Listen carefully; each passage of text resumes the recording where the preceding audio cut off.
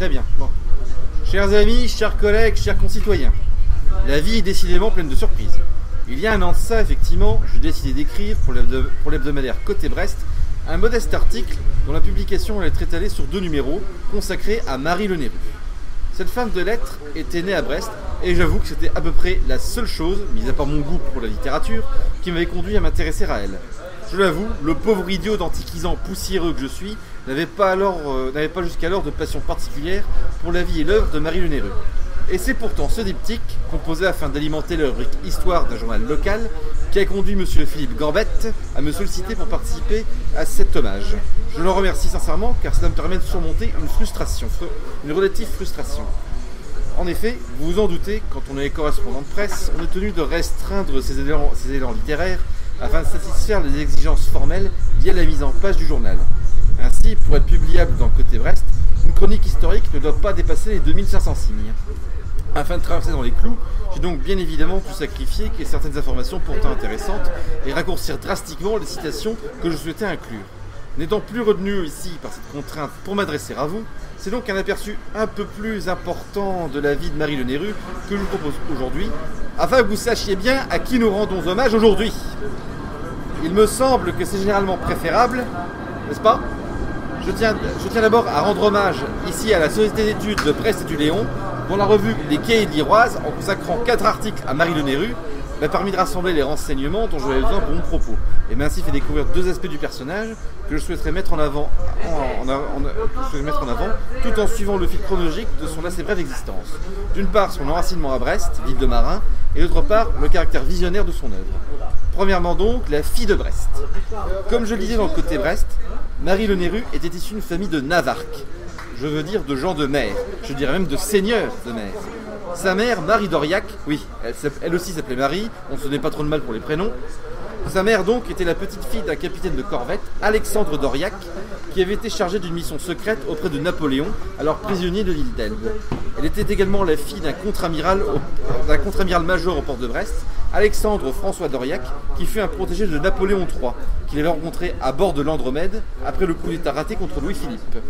Notez que malgré les rapports pour le moins privilégiés que ses ancêtres maternels avaient entretenus avec la famille impériale, je n'ai pas connaissance d'une présence euh, importante des Bonaparte dans l'œuvre de Marie Le Néru, ce qui peut surprendre. Nous verrons ultérieurement qu'il admirait les fortes volontés et les caractères bien trempés.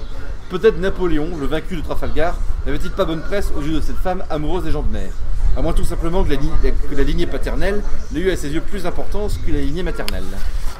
C'est une hypothèse. Hein. Son père, Alfred Le Néru, qui commandait un groupe de corvettes dans le port de Brest, était devenu lieutenant de vaisseau à la suite d'une campagne au Japon, au cours de laquelle il servit même de précepteur aux enfants du shogun, c'est-à-dire le général qui dirigeait, de facto le Japon, parallèlement à l'autorité de jure exercée par l'empereur. Ce titre a été aboli en 1868 dans le cadre de l'ère Meiji, où l'empereur et ses représentants ont récupéré le pouvoir effectif. Alfred Le Néru et Marie Doriac se sont donc mariés à Brest le 28 novembre 1872. de cette union naquit donc, le 2 juin 1875, dans une vieille maison de la rue de Siam, Marie Le Néru. Malheureusement, Alfred ne savoura pas longtemps les joies de la paternité. Le 3 avril 1876, il meurt à Sainte-Croix de Ténérife des suites d'une maladie intestinale. Son épouse n'a que 21 ans et sa fille n'a que 10 mois. Cette dernière aura donc peu connu son père, ce qui peut suffire à expliquer qu'elle souffrit relativement peu de sa disparition, même si elle exprimait volontiers sa révolte contre le destin qui prive son père de la destinée exemplaire à laquelle il semblait naturellement appelé. Elle put néanmoins se révéler une fillette vive, enjouée et intelligente. En 1886, lors d'un séjour à Montpellier chez son oncle maternel et père de substitution Lionel Doriac, professeur à la faculté d'aide de Montpellier justement, elle commença à écrire son journal d'enfance, dans lequel elle manifestait sa profonde affection pour les marins et sa fierté d'être une descendante d'officiers de marine. Je cite Oh oui, je suis fille de marine. Je le suis de toutes mes fibres, de toutes mes cellules. Et je rends grâce au destin de m'avoir fait sortir, moi si dégoûté, qui éprouve le besoin de tout choisir, de tout comparer, de tout préférer, de m'avoir tiré d'une caste que je ne veuille pas renier. Le marin est bien autre chose qu'un militaire. Il a la grâce de l'athlète, l'intelligence d'un voyageur, la distinction que donne la solitude et le silence des espaces, et aussi l'aventure dangereuse. Je pense moins aux officiers, mais j'ai l'amour de mes hommes. Quand je croise ces jolies figures sérieuses, parce qu'ils sont si simples, que je adorables de bravoure et d'enfantillage, j'ai envie de leur serrer la main, de leur taper sur l'épaule comme ferait un vieux chef. J'ai envie de les décorer. Je ne pourrais plus trouver dans la marine un milieu pour moi, mais si je me mariais, ce serait un grand regret nostalgique de ne pas épouser un marin. Bon, fin de citation. La question, ne se, posa finalement pas, car elle ne se maria jamais. Mais pour nous, Brestois, l'un des aspects les plus intéressants de ce journal est sans conteste le point de vue qu'elle développe sur le Brest du 19e siècle. Vous n'êtes pas sans savoir en effet que notre ville a eu le douteux privilège, euh, d'être euh, détruite presque entièrement pendant la Seconde Guerre mondiale par les bombardements alliés, puis d'avoir été reconstruite pour le meilleur et souvent pour le pire.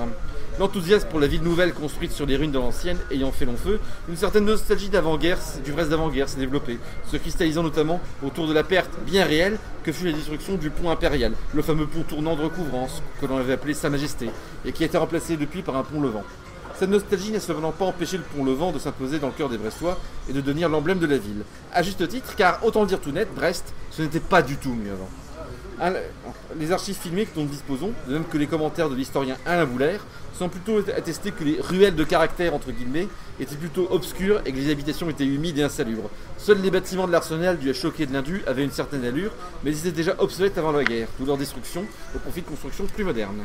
Mon, mon jugement peut vous paraître sévère, mais c'est Marie Le Néru, enfant, mais Marie Néru, enfant, emporte un essai similaire sur le Brest du 19e, ce qui n'empêche pas de faire montre de tendresse envers sa ville natale, et particulièrement pour sa déjà légendaire rade, pour laquelle elle éprouve une profonde affection. Nouvelle citation. Aucune ville ne ressemble à Brest, aucun des autres ports. Nulle part on a fait des rues si étroites et des maisons si hautes. De claires maisons plates et grises, qui n'ont même pas la douceur d'être sombres. Elles surplombent, dures et pâles comme des parois de gorge. Un courant d'air éternel ajoute au malaise des choses étroites et sans proportion.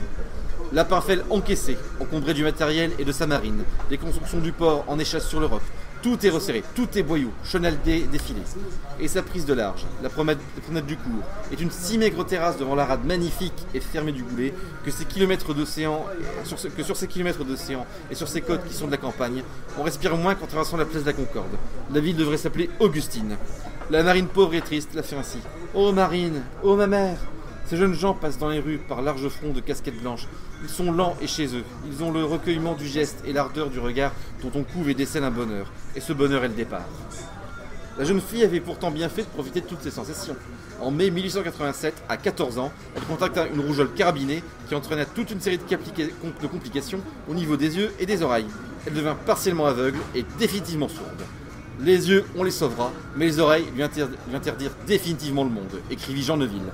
En 1899, dans son journal, elle consigne les pensées que voici. Je regrette la musique, comme une personne morte. Ah, comme les vieux airs qu'on chantait à 12 ans.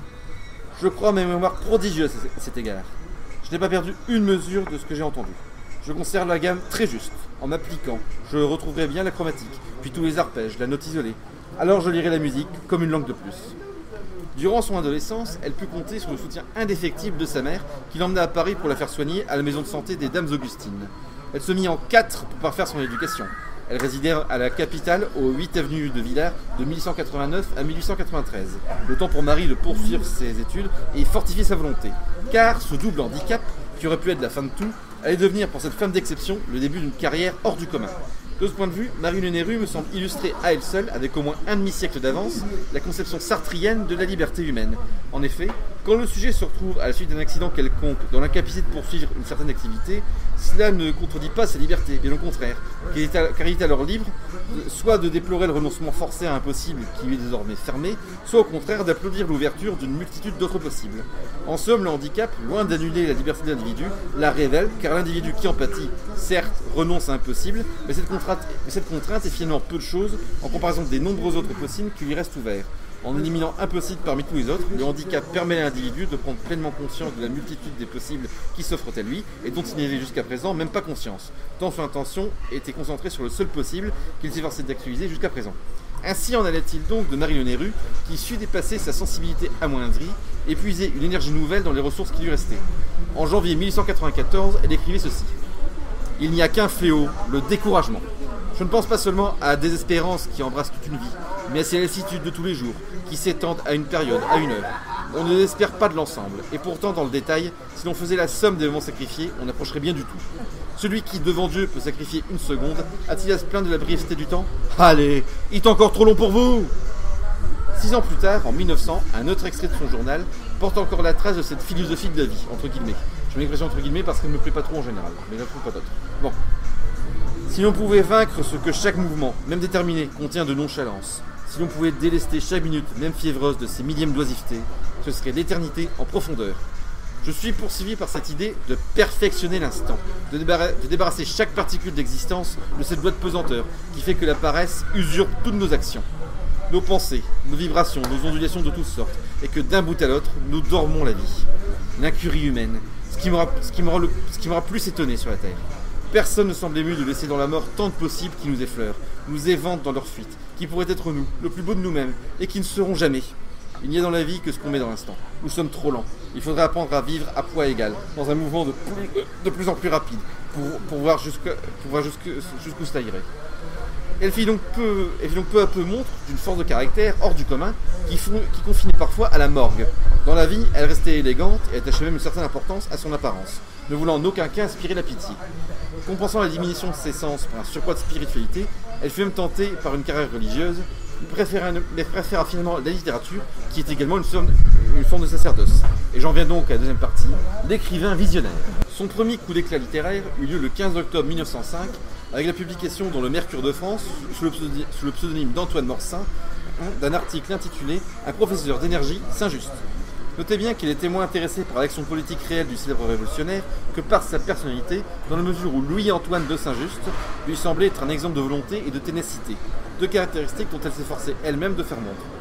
Après la publication de l'article, elle écrivit dans son journal cet aveu on ne peut plus explicite. En définitive, je suis allé à Saint-Just comme Barès et Bonaparte, sans parti pris social ni moral, pour lui demander de l'élan. J'évoquais Sartre il y a un instant, mais il apparaît clairement que Marie Nérus serait plutôt entendu avec la philosophie de Nietzsche, auquel faisait d'ailleurs allusion justement dans le chapitre du journal que je viens de citer. Donc voici la suite. Puisque vous nommez Nietzsche, j'ai bien envie de vous répondre à sa manière. Oui, j'ai écrit dangereusement, mais de tout ce qui est beau en ce monde, qu'est-ce qui n'est pas redoutable? Le christianisme n'a-t-il pas été prêché dangereusement? Y a-t-il y a-t-il vraiment dans la mort, tel que l'impliquent les grands enthousiasmes, de quoi déshonorer le fanatisme? On ne fera jamais pis que braver sa mort et celle des autres. Est-ce donc si grave? Et vaudrait-il mieux vivre sans martyr et sans foi? L'article sur Saint-Just lui a eu l'admiration de Maurice Barrès, un auteur dont elle parlait déjà de manière assez élogieuse cinq ans auparavant. J'ai lu comme en sursaut les deux articles de Barrès sur l'impératrice d'Autriche.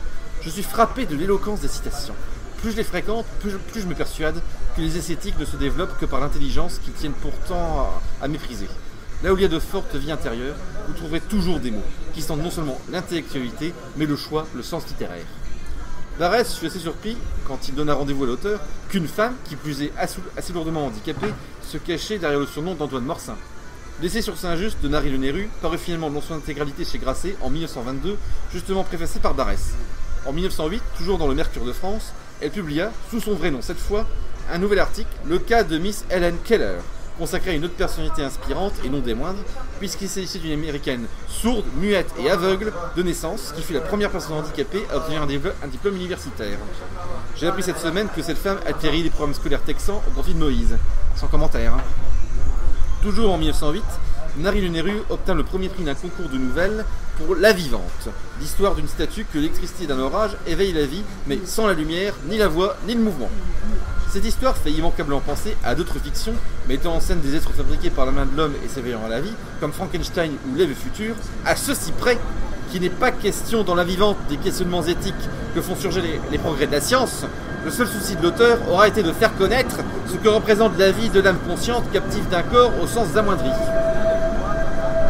on retrouve cette préoccupation, ce souci de mettre des mots sur cette expérience difficilement communicable dans, cet autre extrait du journal.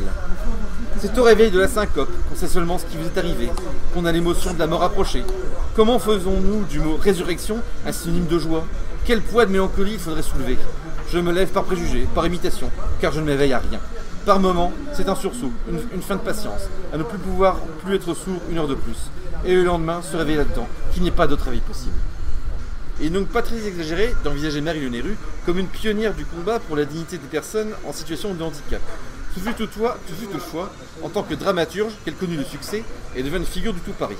De 1907 à 1918, elle écrivit huit pièces de théâtre que je vais citer par ordre chronologique de parution. La première, Les Affranchis, qui lui valut le, prix Vie heureuse, aujourd'hui féminin.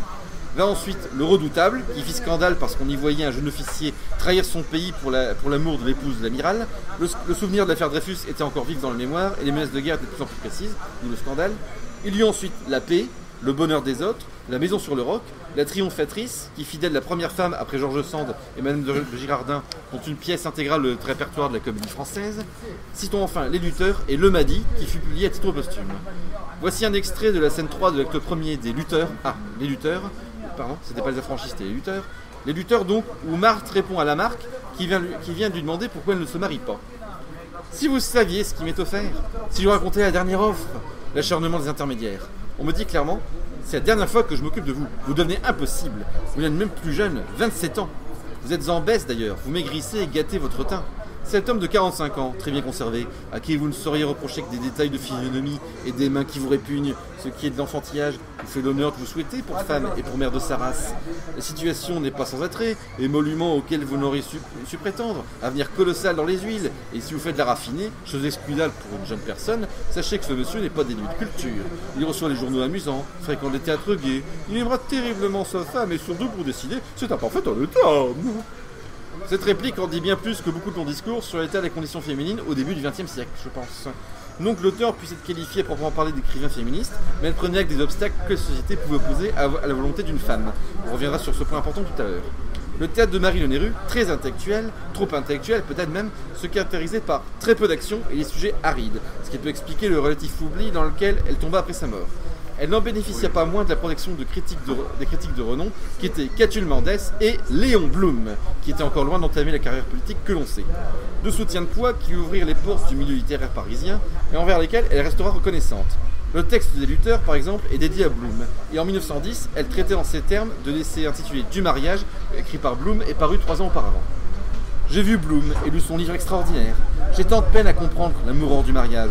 Un homme est émouvant parce qu'il est, parce qu'il peut être ma vie, le visage, la présence, la tendresse de tous les jours, et non parce qu'il a sur moi je sais quel droit de possession et de perturbation. De la penser que Bloom est directement influencé l'écriture des lutteurs, il n'y a qu'à pas que je me garderai de faire. Par prudent, je me bornerai à dire qu'il faut d'ailleurs se garder de se désintéresser du théâtre de Marie de Néru, ne serait-ce qu'en raison justement de ces figures féminines qui, toutes triomphent de l'homme, se révèlent dotées d'une force que le sexe soi-disant fort ne parvient pas à égaler, mais qui le paye cher. Ainsi dénonce-t-elle de manière à peine voilée le peu d'espace que la France de la Troisième République accordait aux femmes. Encore un aspect pionnier de son œuvre. Cela dit, au-delà de cette, interprétation plutôt sociale que politique, il faut tenir compte du vécu de l'auteur qui, je l'ai dit, célibataire toute sa vie. Au risque de faire une hypothèse hardie, il n'est pas interdit de penser que cette infortune sentimentale était moins due à son handicap qu'à son intelligence, rare étant encore aujourd'hui les hommes qui acceptent d'être surclassés par une femme. C'est ce qu'exprime notamment la fin de la triomphatrice, où Claude, l'héroïne, qui vient d'obtenir le prix Nobel, perd son mari, Sorez, qui ne souvent pas de se sentir inférieur à elle, et le dit d'ailleurs très clairement dans la scène 7 du troisième acte. Ah Laissez-moi vous dire, laissez-moi dire, puisque c'est la première et la dernière fois, ces choses-là, on n'y revient pas. Vous êtes au supplice, ma pauvre Claude. Vous ne savez comment guérir, effacer, comment vous faire pardonner votre gloire toujours montante. Et moi, je ne sais pas davantage comment vous féliciter. Vous admirez avec, avec assez d'élan. Vous pouvez à toute heure, prouver à tout le monde que je ne suis pas jaloux. Quelque chose vrai pourtant, quelque chose dû quand votre âme n'est pas vile. Ou pique cela, un ami, un mari qui renonce, si j'étais pas jaloux de vous. Vous aurez noté au passage que cette héroïne, euh, que, l'auteur surnomme la triomphatrice, comme si elle représentait le degré ultime de la victoire que la femme peut, remporter sur l'homme, porte un prénom épicène. Le terme a été popularisé par la récente sortie du roman d'Amélie Nothomb et ne pouvait plus ignorer qu'il s'agit d'un prénom pouvant être masculin ou féminin. De sorte qu'il n'est pas interdit de penser qu'en notant une telle héroïne d'une identité qui n'est pas exclusivement féminine, l'auteur avait cherché à laisser entendre qu'une femme de son temps était condamnée à renier partiellement sa féminité pour pouvoir égaler l'homme en société. Mais je dis ça à titre de simple hypothèse. Pendant la guerre, révoltée par le spectacle de la souffrance et du sang, Marie Le Néru évolua vers le pacifisme, voire l'antimilitarisme, qu'elle exprime notamment dans sa correspondance avec son filleul de guerre, Albert Puech. Je ne veux plus écrire que contre la guerre. Ce qui ne veut pas dire, mon filleul, que je ne trouve pas très beau de faire celle-ci. Je suis fille, petite fille, arrière-petite fille de soldat. Mais je ne veux plus qu'un luxe moral me coûte aussi cher. Elle est proposée dans son journal, comme le résume David Steele, une paix internationale garantie par la Société des Nations et construite sur une solide victoire préalable contre l'Allemagne. Encore une fois, elle est en avance sur son temps. Mais cette femme décidément visionnaire ne put voir la fin du conflit et la concrétisation de ses espérances. Lors d'un séjour à Lorient, elle fut emportée à 43 ans, le 23 septembre 1918, par la grippe espagnole, qui faisait des ravages dans la, région. On a abondamment parlé dans cette ville l'année dernière, à l'occasion du centenaire du débarquement américain. Les Samis n'avaient pas, n'avaient pas non plus été épargnés par l'épidémie. Le filleul de guerre de Marie Le Nehru publia quelques-unes de ses lettres en, 1923 dans la revue Indochinoise, sous le titre Le Triomphe de l'aile. Le journal fut édité et préfacé par François de Curel chez Cresse en 1922, puis complété en 1945 chez Grasset et réédité en 2007 chez Barriga après avoir été longtemps introuvable.